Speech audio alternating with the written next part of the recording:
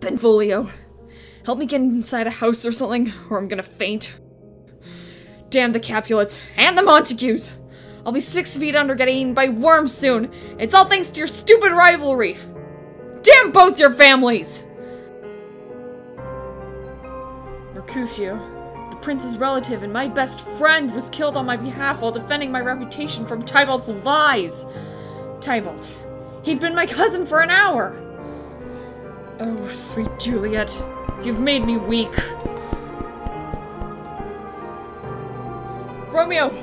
Romeo Mercutio's dead! He's in a better place now, but he was too young! I have a feeling that this is just the beginning of something awful.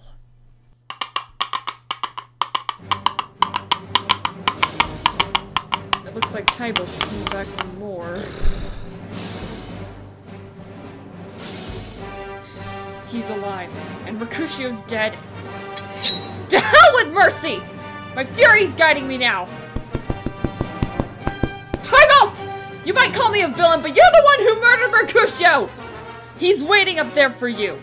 And before he reaches heaven, either you, I, or both of us are going with him! You wretched boy. You were his friend, so I'll gladly reunite the two of you. We'll see about that.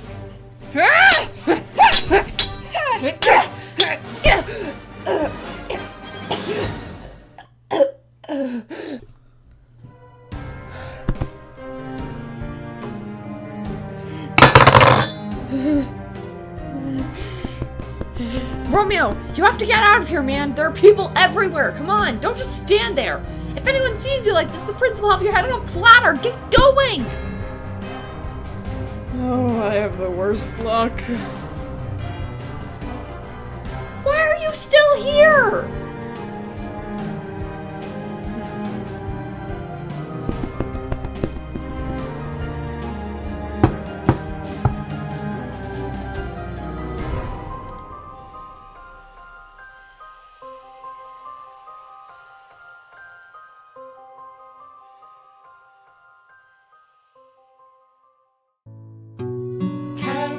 funeral, cat funeral.